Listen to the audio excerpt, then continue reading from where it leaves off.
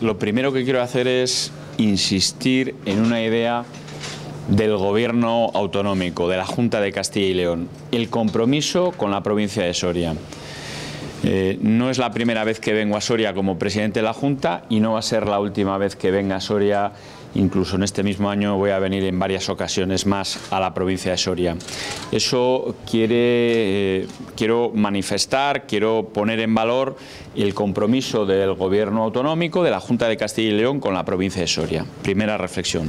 Segunda reflexión. Era visita obligada estar en Copiso en una de mis primeras eh, presencias aquí en la, en la ciudad, en la provincia de Soria porque es una de las cooperativas más importantes de España y es algo de lo que nos tenemos que sentir orgullosos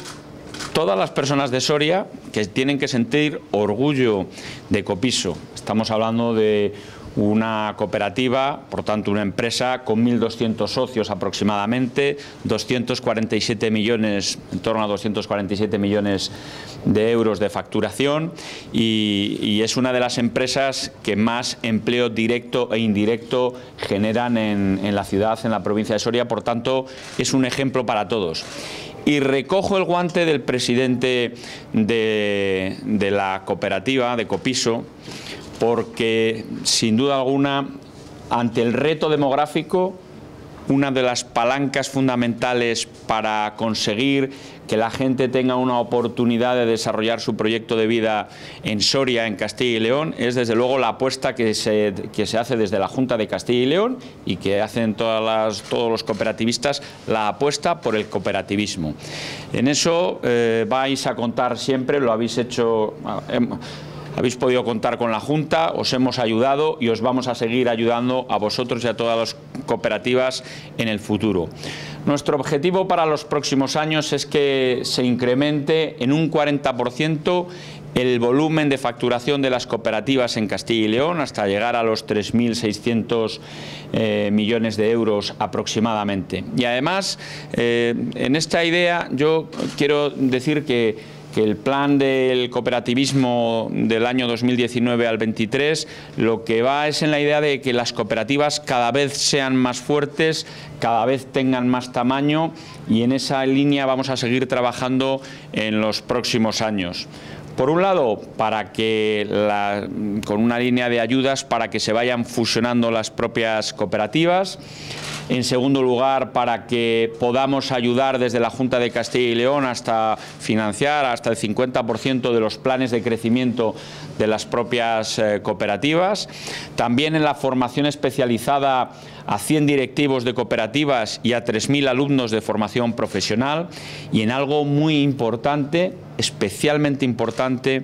eh, y de mucho valor añadido, que es duplicar el número de cooperativas que puedan colaborar en el plan de I más I de la Junta de Castilla y León. Me parece especialmente relevante e importante. Por tanto, esas palabras que oigo en la boca del presidente a mí eh, me suenan eh, desde luego muy bien porque traslada un mensaje positivo en la provincia de Soria, traslada un mensaje de dinamismo en la provincia de Soria, de, apostar por la provincia de Soria y apostar por el mundo rural y por el sector primario en la provincia de Soria. Eh, además, también el eh, cooperativismo eh, ayuda a la industria agroalimentaria, sobre todo en la exportación. Exportamos aproximadamente 300 millones de euros, sector del porcino que es muy importante para Copiso y ahí tenemos que seguir trabajando y afrontar mm, con decisión los retos que tiene la economía mundial. Y por último, insistir en algo fundamental